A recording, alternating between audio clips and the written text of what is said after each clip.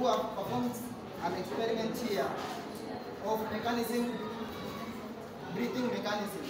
As you can see here, we have balloons, big balloons, and this one, this pipe, it's a, it's a straw, which represents a trachea. And then the bottle represent the ribs or the thoracic. Then the space inside it represent the? The thoracic cavity. And here we have two balloons. The two balloons represent the lungs. And here the down the, the, the balloon that is down here represents the diaphragm. So during breathing, the diaphragm moves flattens or moves downwards.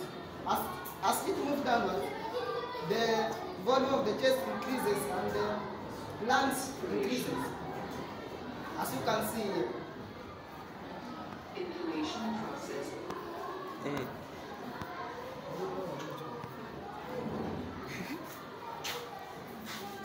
Stop To breathe in, the volume increases.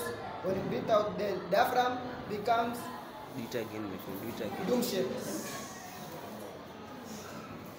Yes, Yes, thank yes, yes.